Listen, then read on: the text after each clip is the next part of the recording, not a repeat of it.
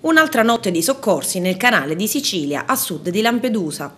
Ad essere tratti in salvo questa volta 823 persone, tra cui 23 donne e 46 minori.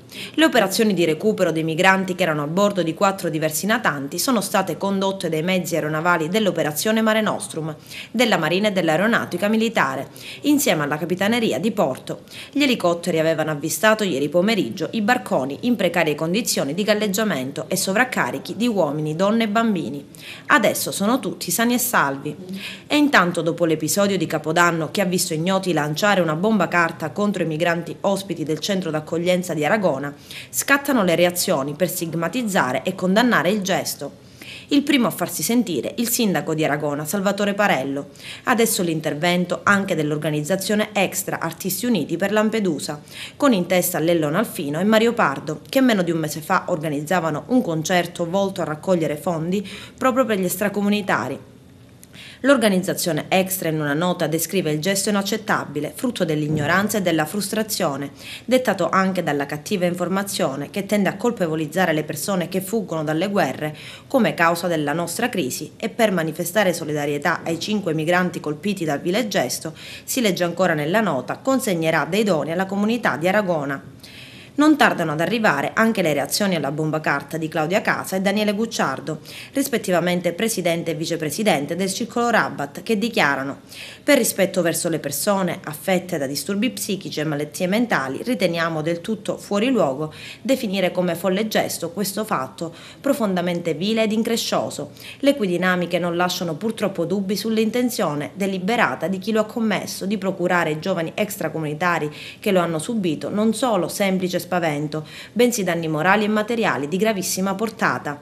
Sentiamo, continuano ancora Claudia Casa e Daniele Gucciardo, il diritto-dovere di esprimere la nostra vicinanza e la nostra disponibilità a compartecipare all'organizzazione di qualsivoglia iniziativa pubblica utile a stigmatizzare a dovere il grave accaduto.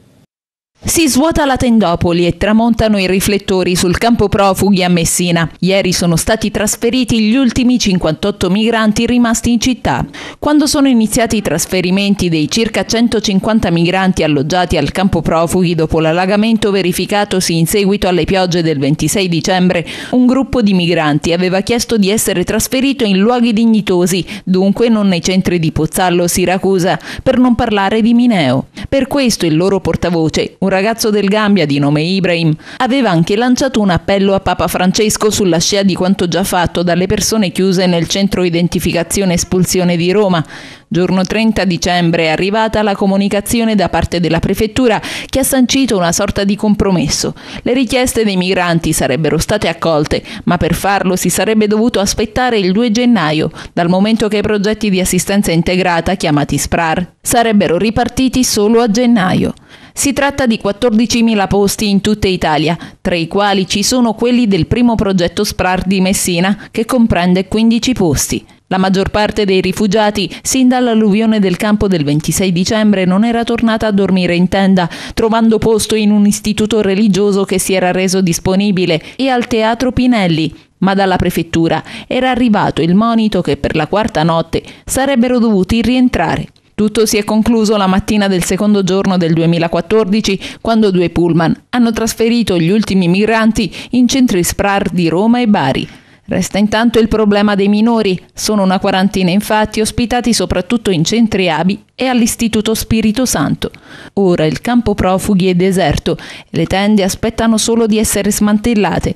Operazione questa che dovrà essere effettuata dai vigili del fuoco. Questo in teoria, perché in pratica Proprio a Capodanno si era già verificato a largo di Lampedusa il primo sbarco del 2014, in cui sono state soccorse 233 persone dirottate temporaneamente ad Augusta. Da qui verranno ulteriormente smistate, secondo una prassi ormai consolidata, e 80 dovrebbero arrivare a Messina. La caserma di Visconti, messa a disposizione dal Ministero della Difesa proprio per la questione accoglienza migranti, è già stata palcoscenico di un primo sopralluogo per verificarne stato ed idoneità. Ma altre fonti sussurrano che per i nuovi imminenti arrivi verrà utilizzata nel frattempo la stessa tendopoli del Palanebbiolo, che il 2 pomeriggio sarebbe stata pulita e non di certo smantellata.